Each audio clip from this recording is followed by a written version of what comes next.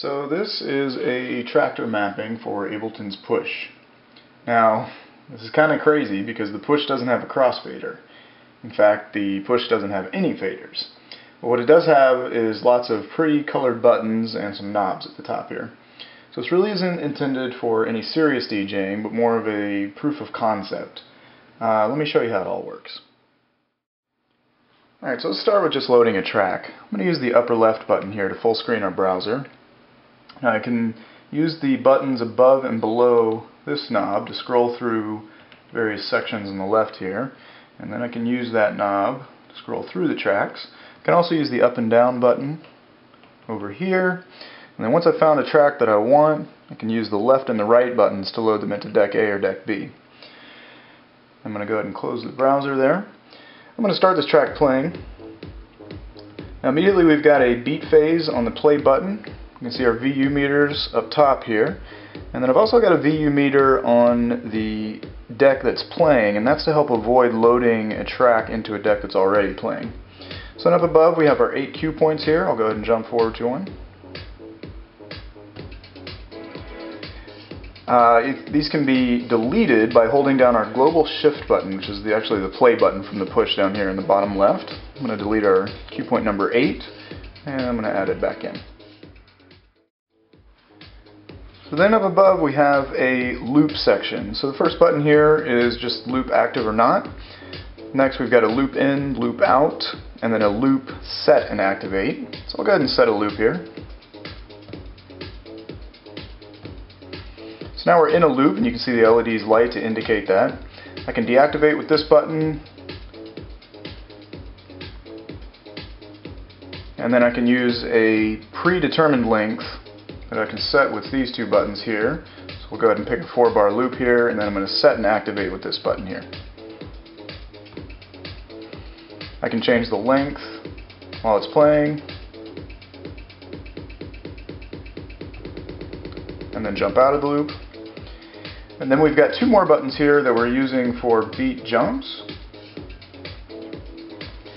And I can set their length by holding down the shift key and left or right. See that moving there. Okay, we'll go ahead and skip the FX section for now. We're going to go to these four buttons, which are our pitch adjust. So when I'm double yellow here, that means that we're fairly close to the center in pitch. I'm going to start bringing our pitch down.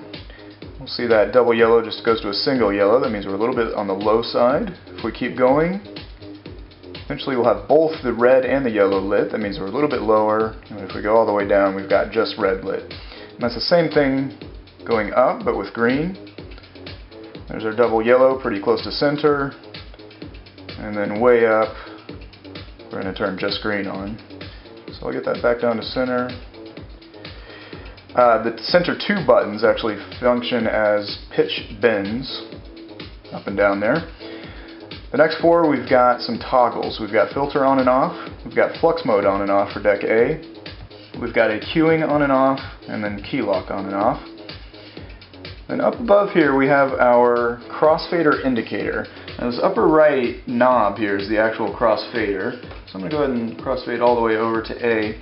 Now because there's no crossfader, I spent a lot of time adjusting the acceleration of this knob, and I think it feels pretty good as far as you're going to get out of a knob as far as a, a crossfader goes.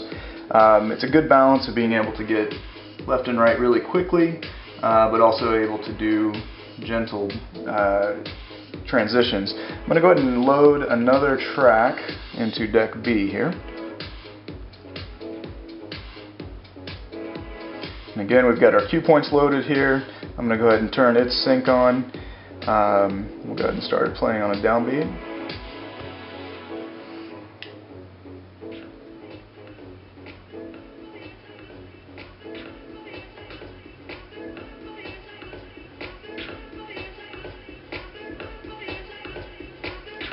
Kind of fade in gently. Again, we've got an indicator of uh, VU meters on both sides. And what's nice about the crossfader strip here is that we can flip back and forth. These are all activated uh, crossfader positions, left and right.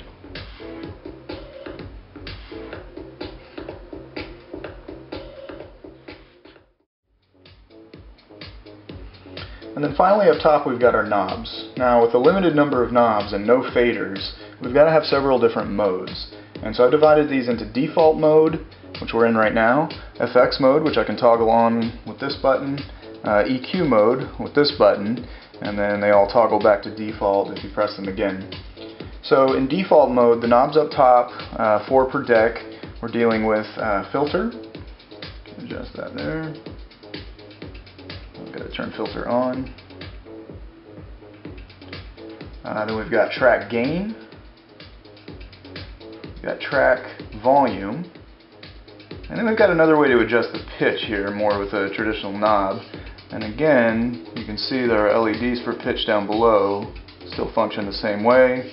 So I'm going to get us back to center by noting the double yellow there. Okay, so that brings us to FX mode, which I'll go ahead and activate here.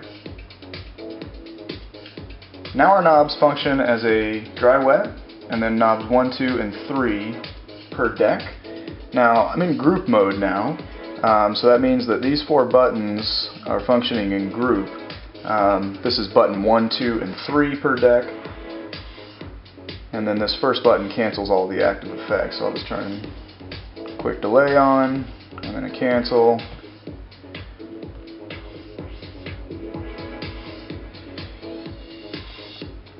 Now if I hold down shift, I can use the three knobs to select those effects per deck. You can see me scrolling through up here. Nice and simple. And then if I hold down shift and press this first button, I enter single effect mode. And this functions about like you'd expect. We've shifted our knobs now to adjust different parameters uh, for that one. And then our three buttons. That's a freeze effect. And then we'll switch back to group mode there.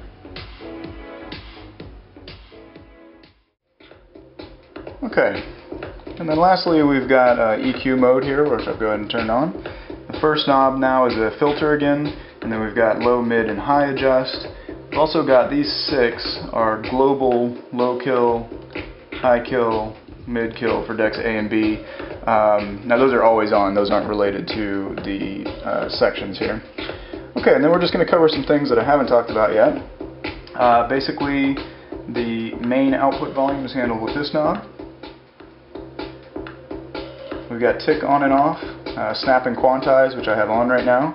Uh, then we have a loop recorder section, so we've got record with the record button, we've got play stop with the button above, and if we hold down shift, we can adjust our loop size here, and we can adjust our dry wet, and then shift record deletes the current loop. Alright, and then lastly, we've got effects 1 and 2 on and off for all four decks. And then this row I've left blank. That's up to you. I think they'd be really great for sort of instant hold effects, uh, but those are programmable by you.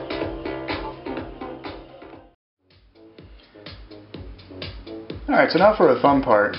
Um, I've got three more modes here that swap out the eight buttons of the loop section. So the first one that I'll turn on here is a auto roll, or auto loop I should say, in various lengths.